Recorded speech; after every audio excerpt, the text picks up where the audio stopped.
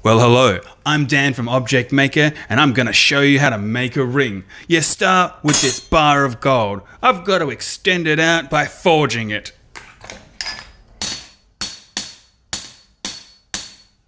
Usually using a massive hammer. Then, once it's forged out to the correct length, I gotta use this flame in order to soften it, bend it, and join it.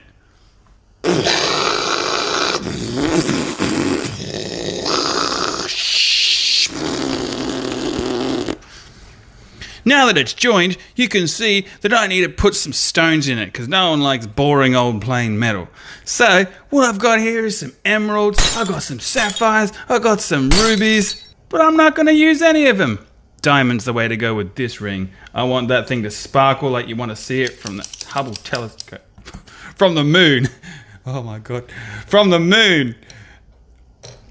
So we're going to sit here, we're going to polish it up once those gems are in. And then we'll have ourselves a pretty sweet looking ring. Look at that, it's twinkling in the sunshine. Isn't that beautiful? Oh my god, jewelry making's the best. oh my god.